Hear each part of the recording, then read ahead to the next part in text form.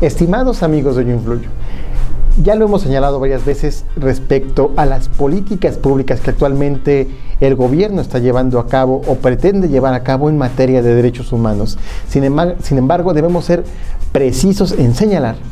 que pareciera que para el gobierno actual los derechos humanos no es un tema prioritario y eso se ve reflejado en los diversos eh, discursos, en el actuar cotidiano del actual gobierno, en donde, bueno, el tema de derechos humanos, pues nuevamente vuelve a ser un tema de maquillaje, un tema donde al exterior pues se pretende dar una cara, donde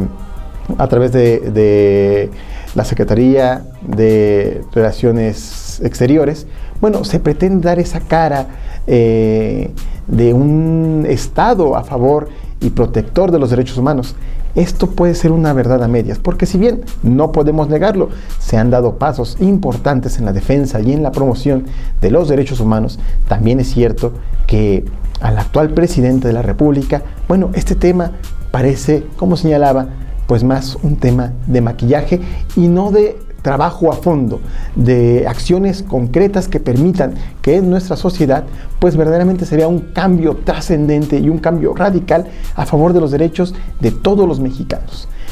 Se han presentado iniciativas ante el Congreso de la Unión en materia de derechos humanos, sin embargo, estas no han sido del calado y de la hondura como se esperaría de, de este gobierno. Se ha presentado una, el único avance concreto que podríamos señalar, y eso entre comillas, es la ley de víctimas que al principio del gobierno de Enrique Peña Nieto se presentó, que bueno, más que nada esto fue un,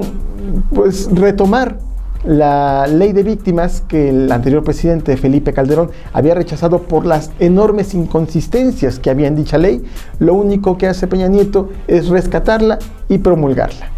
podemos decir concretamente que eso es el único punto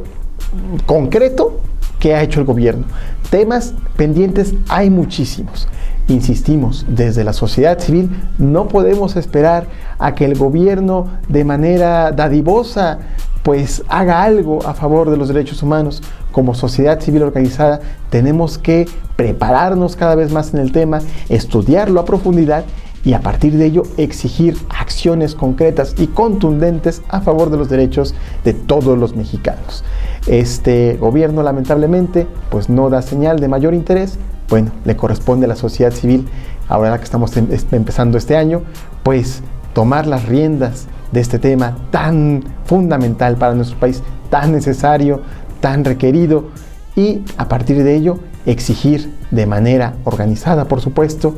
que se legisle, que se trabaje de manera efectiva por los derechos humanos en México. Para yoinfluyo.com, Miguel Ayala.